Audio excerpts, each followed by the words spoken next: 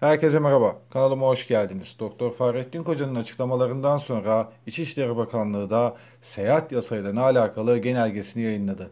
Yayınlanan genelgede kademeli normalleşme döneminin ikinci etapında sadece sokağa çıkma kısıtlaması uygulanan süre ve günlerde şehirler arası seyahat kısıtlaması uygulanacak olup sokağa çıkma kısıtlaması uygulanmayan süre içerisinde şehirler arası seyahate ilişkin herhangi bir kısıtlamaya gidilmeyecektir açıklaması geldi. Sokağa çıkma kısıtlaması uygulanan süre ve günlerde vatandaşlarımızın uçak, tren, otobüs gibi toplu taşıma vasıtalarıyla yapacakları şehirler arası seyahatler için ayrıca seyahat izin alması istenmeyecek. Şehirler arası seyahat edeceğini bilet, rezervasyon, kodu ve benzeriyle ibraz etmeleri yeterli olacaktır denildi. Bu durumdaki kişilerin şehirler arası toplu taşıma vasıtaları ile ikametler arasındaki hareketlilikleri kalkış varış saatleri ile uyumlu olmak kaydıyla sokağa çıkma kısıtlamasından muaf olacaktır açıklaması geldi. Zorunlu bir kamusal görevi varsa durumların değişik olduğu kurum kimlik kartıyla görevlendirme belgesini ibraz etmeleri kaydıyla izin verilecektir açıklaması geldi.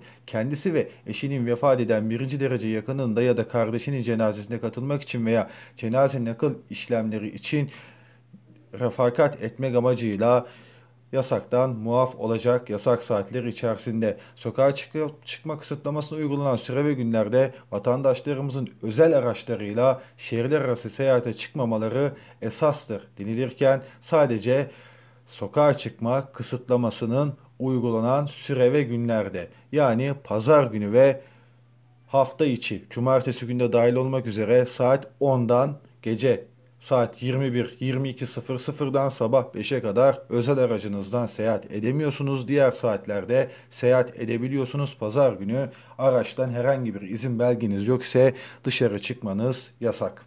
Konuyla alakalı yorumlar sizin. Sonraki videolarda görüşmek dileğiyle lütfen sosyal mesafe, temizlik ve maske kurallarına da uymaya özen gösterelim. Şimdilik hoşçakalın.